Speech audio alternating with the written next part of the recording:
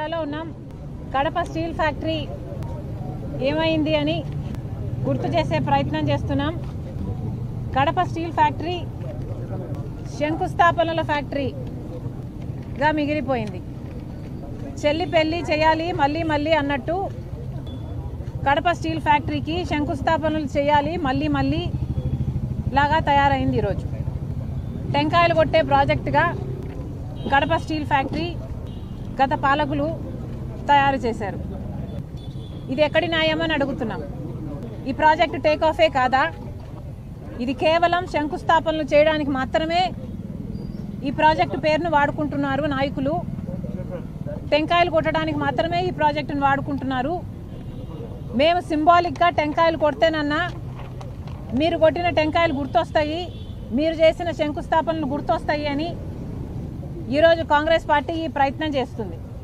నిజానికి Kadapa steel factory Rajasekhar Reddy గారు ఎంతో చిత్తశుద్ధితో ఎంతో కోరికతో ఈ ప్రాంత మంతా అభివృద్ధి చెందాలి అని ఈ ప్రాంత ఈ ప్రాంతం తలరాతను మార్చాలి అని చేపట్టాలనుకున్న ప్రాజెక్టు.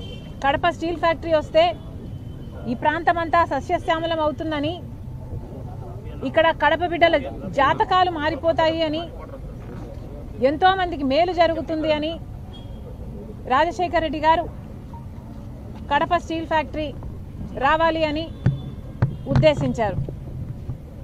నిజానికి రాజశేఖర రెడ్డి గారు ఉన్నప్పుడే కడప స్టీల్ ఫ్యాక్టరీ కోసం ఎన్నో ప్రయత్నాలు చేసి దీన్ని సాకారం చేయాలి అని పూర్తి బ్లూ ప్రింట్ కూడా తయారు చేశారు. పదివేల ఎకరాలలో ఇరవై వేల కోట్ల పెట్టుబడితో ఇరవై మిన్ మిలియన్ల టన్లు ఉత్పత్తి చేసే కెపాసిటీ గల ప్లాంట్ని ఇక్కడ ఏర్పాటు చేయాలి అని మొత్తం ప్లాన్ రెడీ చేశారు రాజశేఖర్ రెడ్డి గారు. రాజశేఖర్ రెడ్డి గారు ఉద్దేశం ప్రకారం ఇరవై ఐదు వేల మందికి ఉపాధి కల్పిస్తుంది ఈ ప్లాంటు డైరెక్ట్ ఎంప్లాయ్మెంట్ ఇస్తుంది. ఇంకో లక్ష మందికి ఇండైరెక్ట్ ఎంప్లాయ్మెంట్ ఇస్తుంది ఈ ప్లాంటు అన్నది రాజశేఖర రెడ్డి గారి ఉద్దేశం అయితే మరి ఈరోజు ఏమాయ ఏమైంది? ఎక్కడికి పోయింది? అంత గొప్ప ప్రలా ప్ర- ప్రణాళిక తర్వాత వచ్చిన నాయకుల చేతుల్లో నాశనం అయిపోయింది కదా.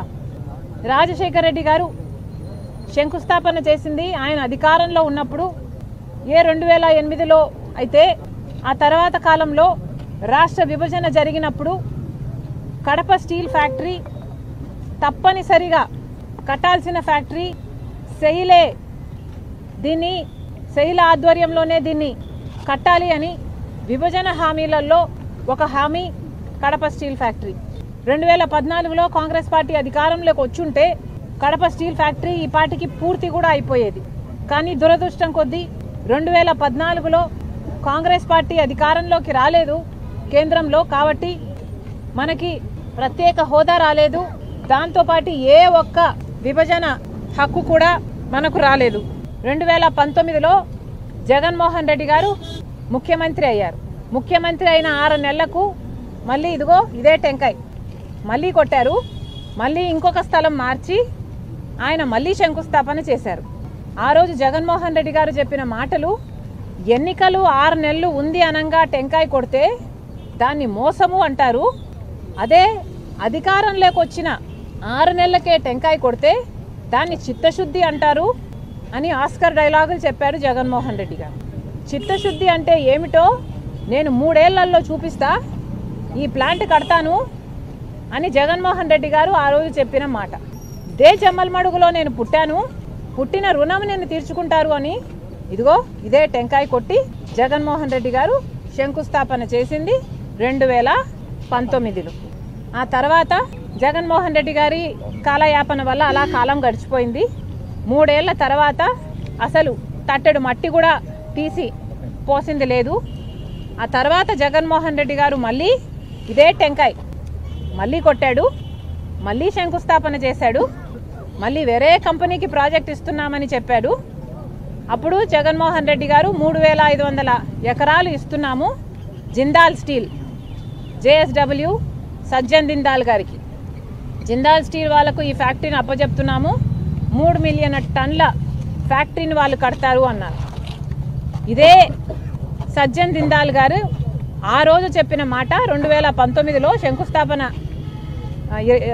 రెండు వేల ఇరవై మూడులో జగన్మోహన్ రెడ్డి గారు నాలుగోసారి ఇదే టెంకాయ కొట్టి శంకుస్థాపన చేసిన రోజున సజ్జన్ జిందాల్ గారు జగన్మోహన్ రెడ్డి గారి సంబంధం నాది అయింది ఎప్పటిదో జగన్మోహన్ రెడ్డి గారు ఎప్పుడో చిన్నప్పుడే నా దగ్గరికి వచ్చి అప్రెంటిస్షిప్ చేద్దామనుకున్నారు అని మా బంధం ఏనాటితో అని చెప్పుకుంటూ వచ్చారు. ఆ రోజు జనాలకు ఎవరికి అర్థం కాలేదు. జగన్మోహన్ రెడ్డి గారు అధికారంలోంచి దిగిపోయిన తర్వాత వాళ్ళ బంధం గురించి జనాలకు అర్థమైంది. కాదంబరి అనే ఆవిడ సజ్జన్ జిందాలు ఆమెకు అన్యాయం చేశారని హెరాస్ చేస్తున్నారని ఆమె బాంబేలో కేసు పెడితే దాని గురించి జగన్మోహన్ రెడ్డి గారి సహాయం తీసుకొని ఆమెను బాంబే నుంచి అరెస్ట్ చేపించి నలభై మంది పోలీసులను పంపించి అరెస్ట్ చేపించి ఇక్కడికి తీసుకొచ్చి నలభై రోజుల పాటు జైల్లో పెట్టారు జగన్మోహన్ రెడ్డి గారు సజ్జ జిందాల్ కోసం.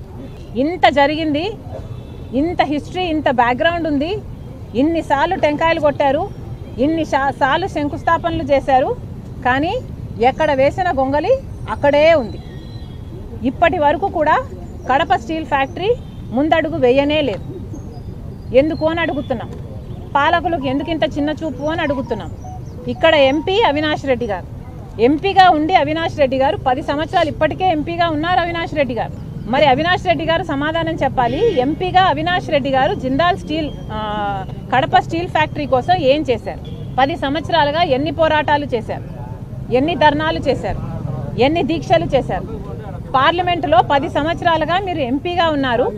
పార్లమెంటులో మరి ఎన్నిసార్లు కడప స్టీల్ ఫ్యాక్టరీ కావాలి అని ఎన్నిసార్లు కొట్లాడారు? ఎన్నిసార్లు మాట్లాడారు? అవినాష్ రెడ్డి గారు సమాధానం చెప్పాలి. ప్రజలు కూడా ఆలోచన చేయాలి. ఇలాంటి వాళ్ళను మళ్ళీ మళ్ళీ ఎన్నుకోవాలా లేదో ప్రజలు ఆలోచన చేయాలి. ఇప్పుడు జగన్మోహన్ రెడ్డి గారు కూడా ఇక్కడ ఎమ్మెల్యే సరే ముఖ్యమంత్రి కాలేదు కనీసం ఎమ్మెల్యేగా అయితే ఉన్నాడు ఇక్కడ. ఇదే కడప జిల్లాకు సంబంధించిన ఎమ్మెల్యే మాజీ ముఖ్యమంత్రి జగన్మోహన్ రెడ్డి గారు. మరి ఇప్పుడు ఆయన అయినా కూడా ఏం చేస్తున్నారో ప్రజలకు సమాధానం చెప్పాలి. ఇదే కడప జిల్లా ప్రజలు మీకు ఓట్లేసి గెలిపిస్తే ఐదు సంవత్సరాలు మీకు అవకాశం ఇస్తే తట్టెడు మట్టి తీసి అవతల పోసింది లేదు. ఫ్యాక్టరీ వచ్చింది లేదు. ఏది రాజశేఖర్ రెడ్డి గారి కళ అయిన కడప స్టీల్ ఫ్యాక్టరీ. రత్నాల సీమను చేస్తుంది అని అనేవాడు రాజశేఖర్ రెడ్డి గారు Kadapa steel factory.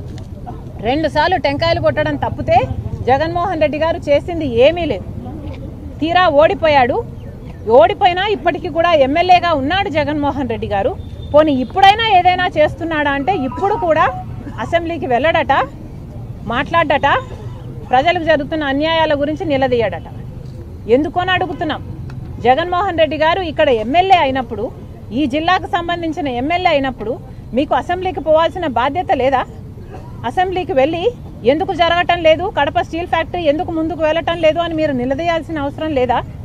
Super six ఏమైతుంది అని మీరు నిలదీయాల్సిన అవసరం లేదా? చంద్రబాబు గారు ఉచితంగానే ఇసుక ఇస్తామంటున్నారు.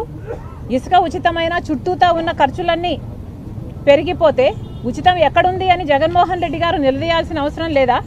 కానీ జగన్మోహన్ రెడ్డి గారు ఎమ్మెల్యే ఎమ్మెల్యేకి అర్థమేమో మెంబర్ ఆఫ్ లెజిస్లేటివ్ అసెంబ్లీ. పేరులో కూడా అర్థం ఉన్నా కూడా ఆయన విజ్ఞత అసెంబ్లీకి వెళ్ళడట. ఈయనకు ప్రతిపక్ష హోదా ఇస్తేనే వెళ్తాడట. ప్రతిపక్ష హోదాకు కావాల్సిన ఎమ్మెల్యేలు వచ్చారా అంటే గెలుచుకున్నారా అంటే లేదు. గెలుచుకోకలే గెలుచుకోవడం చేత కాలేదు కానీ ఈయనకు మాత్రం ప్రతిపక్ష హోదా కావాలట. లేకపోతే పోడట.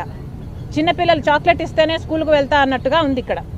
ఇదేనా మీ విఘ్నత జగన్మోహన్ రెడ్డి గారైనా వైసీపీ ఎమ్మెల్యేలైనా ఆలోచించుకోవాల్సిన అవసరం ఉంది. చెప్పాల్సింది ఏమనుకు ఏ- ఏమిటంటే ఎంపీ అయినా ఎమ్మెల్యే అయినా అవినాష్ రెడ్డి గారైనా జగన్మోహన్ రెడ్డి గారైనా వీళ్ళకి చిత్తశుద్ధి లేదు అని నిరూపణ అయిపోయింది. వైసీపీ పార్టీ ఐదు సంవత్సరాల అధికారంలో ఉండి కూడా కడప స్టీల్ ఫ్యాక్టరీ కోసం టెంకాయలు కొట్టడం తప్పితే చేసింది ఏమీ లేదు. అంతకుముందు చంద్రబాబు గారు కూడా ఒకసారి టెంకాయ కొట్టారు చేసింది ఏమీ లేదు. అందుకనే కాంగ్రెస్ పార్టీ ఈరోజు వార్నింగ్ ఇస్తుంది. కడప స్టీల్ ఫ్యాక్టరీ ఈ ప్రాంతానికి చాలా ముఖ్యమైన ఫ్యాక్టరీ. ఈ ప్రాంత అభివృద్ధి కోసం కడప స్టీల్ ఫ్యాక్టరీ రావాల్సిందే. కాబట్టి కాంగ్రెస్ పార్టీ అల్టిమేటం ఇస్తుంది ఈరోజు ప్రభుత్వానికి. కలెక్టర్ గారికి కూడా ఇదే చెప్పాము. ఈరోజు కాంగ్రెస్ పార్టీ చాలా సీరియస్గా ఉంది కడప స్టీల్ ఫ్యాక్టరీ రావాలి అన్న విషయంలో. కడప స్టీల్ ఫ్యాక్టరీ రావాలి. మీరు స్పందించకపోతే ప్రభుత్వం తరపు నుంచి మీరు స్పందించకపోతే చంద్రబాబు గారు గమనించుకోవాలి. కాంగ్రెస్ పార్టీ కడప జిల్లాలో ధర్నాలకు దిగుతాం దీక్షలకు దిగుతాం రాస్తా రోకోలు చేస్తాం ఊరూరికి వెళ్తాం. ప్రతి ఊర్లోనూ చెప్తాం కడప స్టీల్ ఫ్యాక్టరీ గురించి ప్రజలను చైతన్య పరులను చేస్తాం ఉద్యమిస్తాం. ఆఖరికి నిరాహార దీక్షకు ఆమరణ నిరాహార దీక్ష కూర్చోడానికి కూడా మేము సిద్ధం.